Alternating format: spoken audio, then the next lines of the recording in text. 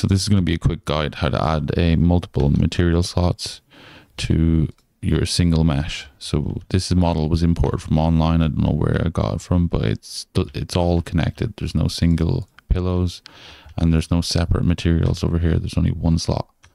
So this is going to be a quick demo to just show you how to add materials to specific parts of this mesh without separating it into multiple meshes or leaving Unreal Engine. So we'll get into it really quick. To edit materials specifically, we come up to modeling mode up here. We come to attributes and then we come to edit materials. And once we're in edit materials, we're in a mode where we can paint on the mesh and select things and we can assign new materials to what we've painted. But for this case, we don't want to paint because we won't get really accurate edges and stuff like that.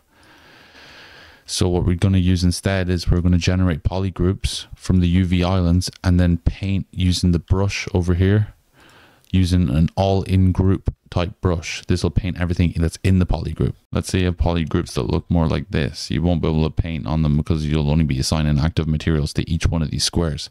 And because we want to have big, large islands to assign our materials to, you can try the different view modes in generate poly groups. But normally UV islands, if you've unwrapped your thing correctly, you'll be able to use UV islands and that'll separate it into good panels that we can assign materials to. So the ones we've assigned the poly groups, we can click accept. And now we still have one material here, but we've got the poly groups. If we come to edit materials,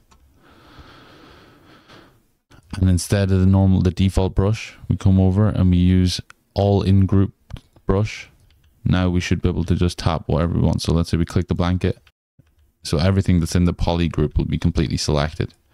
Uh, next, we just come over to active material and we'll see there's only one possible active material at the minute because there's only one slot.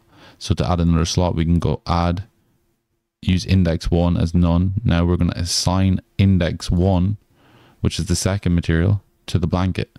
So we're going to click assign active material once that's done. Click accept. And you can see now we've assigned a second slot over here.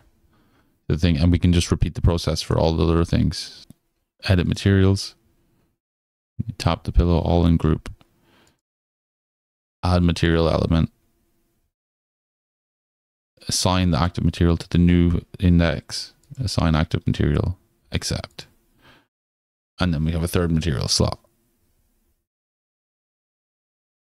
So hopefully you gained something from this video. I'm going to be dropping loads more tips like this to do with Unreal Engine, DaVinci Resolve, and Blender. No one really talks about editing your materials in this sort of way. Like adding slots to a specific mesh and using the modeling tools in Unreal to generate polygroups. But there'll be loads more stuff like this, I suppose, coming on the channel. So if you're interested, stay tuned and yeah, I'll see you in the next one.